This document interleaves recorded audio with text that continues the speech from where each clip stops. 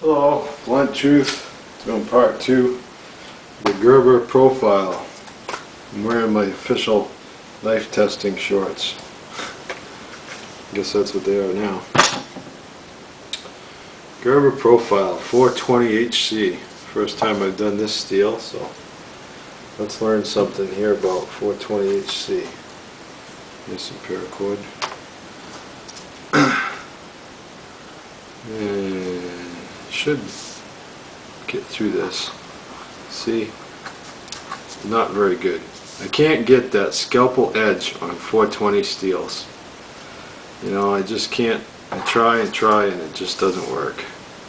They just round over. They're little fibers. So, you know, can't quite get that paracord popping edge. It'll shave, I'm sure. You know, you can get it to shave. See? No problem shaving. But you can't get that paracord pop thing. Like I say all the time, paracord, push cutting paracord is uh, the ultimate test. It's harder to do that than to shave. But that's as good as I can get it, so let's um let's go from there. See if we can keep it shaving.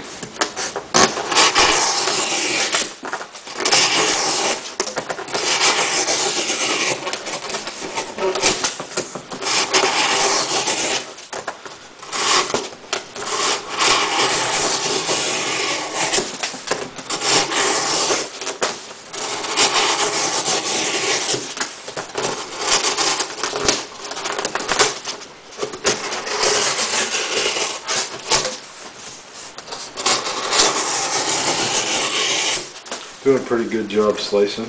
Comfortable. Got that pinky problem. This little point. Pinky digging in. Really wish they brought that down a little. I guess if you got small hands it would be no problem.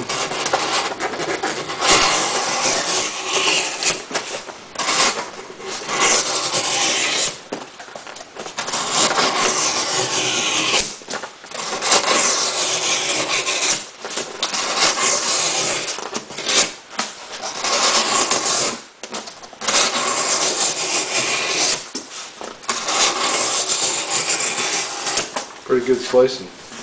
Not a lot of effort needed.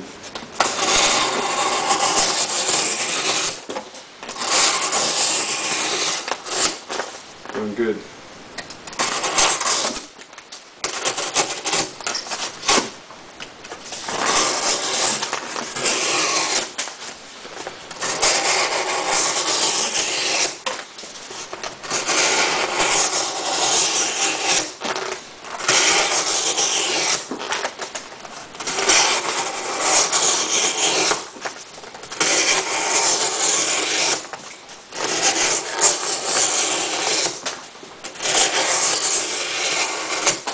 Really good slicing actually.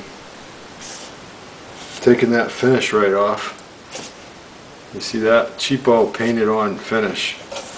Totally wiped it off with just that little bit of cardboard. I think it would look better without that shit anyway. Coming right off.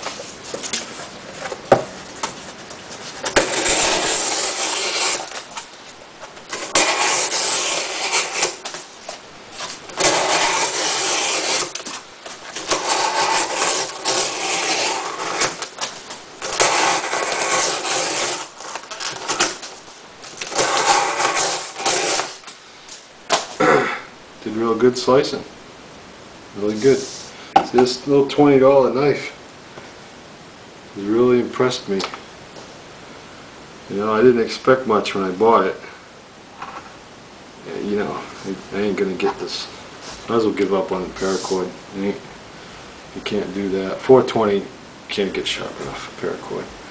I guess I'm gonna have to shave my damn arms. Oh, maybe not, because it ain't really shaving anymore. A little tiny bit. It's more scraping my skin. It doesn't really, doesn't really shave anymore. So, you know, 420, we already lost quite a bit of edge. Some edge anyway. Has to be expected, you know. Let's do some wood. Same wood I just used for the, uh, just cut there because my battery died. so I was just starting on the wood. So let's do the wood here.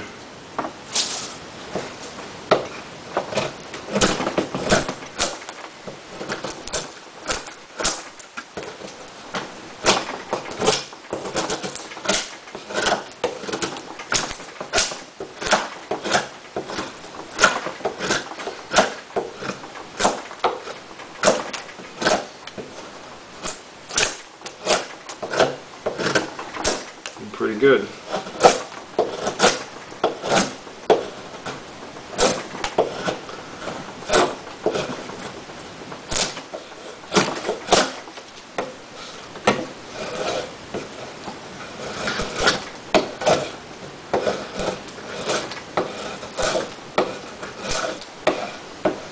Can't get a good grip pull cutting. Cut out, I guess. Kind of like the problem I had with the native, Spyderco native, is that big cutout. Makes it so you can't get that. It's the opposite of the way you want to grip it, so.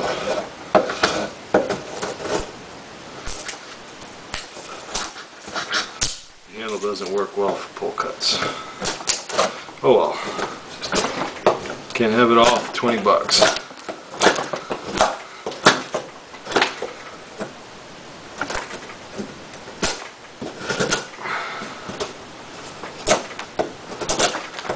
That's pretty good on the wood.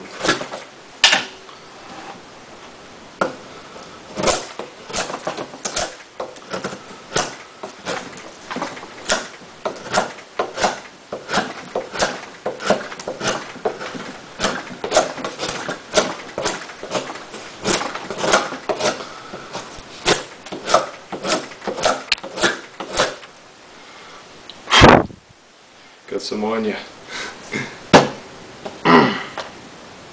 Does pretty good.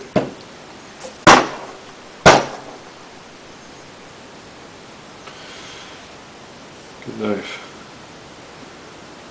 No chipping or anything.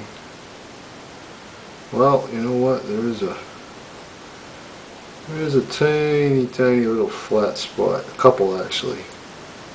A couple little flat spots. One here, one there. Not a big deal. You know. So I did it flattened out a little, no chipping, but there's a little flattage, a couple little flat spots from the wood. 420 for you, you know, it's not, not a super performer. You're gonna get some flat spots. You're gonna get some dulling real quick. No way in hell this is gonna shave now. See, even pushing hard. I mean, just scraping off a couple hairs. I mean, it ain't shaving. I mean, this is, that's dull. Dull knife, won't cut. Paper.